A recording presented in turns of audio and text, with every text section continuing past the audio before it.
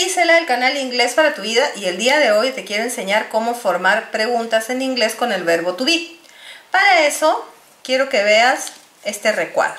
En este recuadro ¿sí? tenemos palabras en desorden.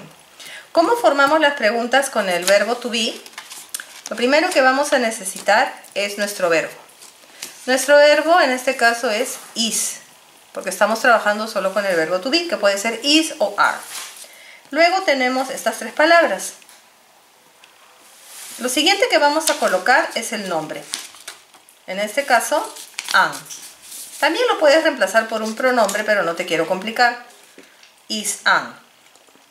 Luego vamos a colocar el pronombre y al final nuestro sustantivo que ya viene con el signo de pregunta.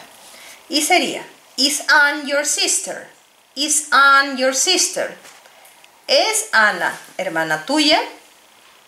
Is Anne your sister? Vamos al segundo ejemplo para seguir aplicando este concepto.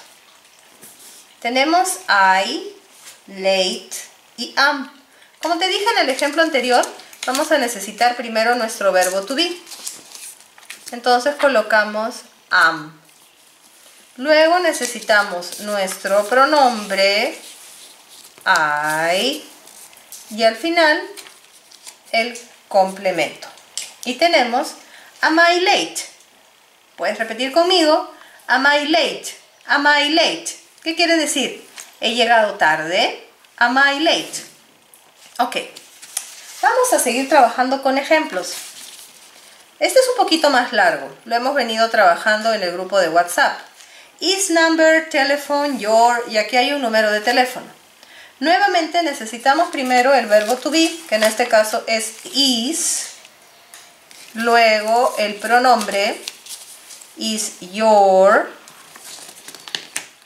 nuestro sustantivo is your telephone number, y al final el complemento con nuestra pregunta, nuestro signo de pregunta. Y nos queda, is your telephone number 987-821? Is your telephone number 987-821? ¿Ok? Puedes repetir siempre después de mí para que practiques la pronunciación. En este ejemplo tenemos from, are, you, roam. ¿Cómo vamos a ordenar la pregunta? Nuevamente necesitamos el verbo to be, are, nuestro sujeto, are you, ¿sí? Y los que ya han practicado las preguntas en los videos anteriores, les voy a dejar también eh, para que vean las preguntas en presente simple. Are, que es nuestro verbo to be, you, que es nuestro sujeto, from, en este caso tenemos una preposición, Are you from Rome? Y el complemento que ya cuando va con nuestro signo de pregunta nos indica que va al final. Podemos repetir la frase. Are you from Rome? Are you from Rome? ¿Eres tú de Roma? ¿Ok? En el de aquí estamos practicando con el estado civil. Yo te recomendaría que pongas el video en pausa para que intentes hacerlo tú mismo y luego retrocedas, le des play y cheques si te salió bien. Ok. Entonces, necesitamos el mismo patrón, el verbo to be, are, nuestro sujeto, are you, y en este caso, el estado civil, que viene ya con el signo de pregunta y nos indica que con esto terminamos la frase. Are you single? Puedes repetir conmigo. Are you single? Are you single? ¿Eres soltero o soltera? ¿Qué te parece este ejemplo de aquí? Italian, are you? ¿Cómo harías la pregunta?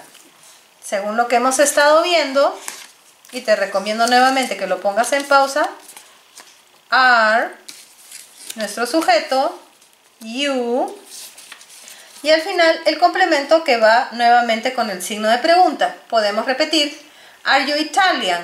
Are you Italian? ¿Eres italiano? ¿Eres italiana? A ver, aquí te dejo un reto un poquito más grande. Old years you are 15. Fíjate, el que tiene el signo de pregunta es el que va al final. Ok.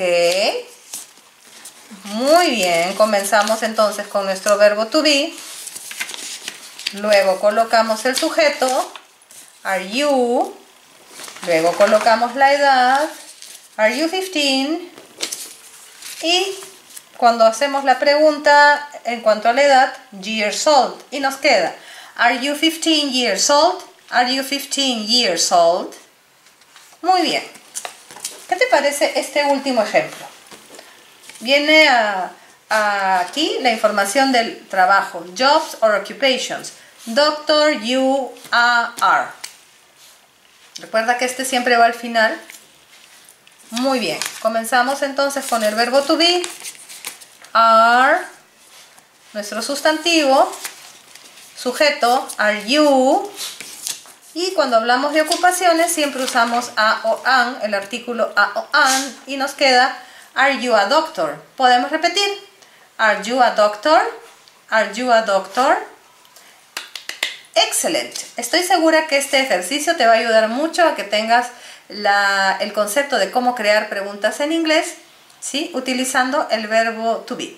Segundos antes que finalice el video vas a encontrar eh, el video sugerido y al costado un circulito en el cual se encuentra mi foto. Si le das clic al circulito estarás automáticamente suscrito o suscrita y no olvides darle clic a la campanita para que tengas la notificación de audio y puedas saber cada vez que coloco videos. Te agradezco mucho por tu atención el día de hoy. Bye!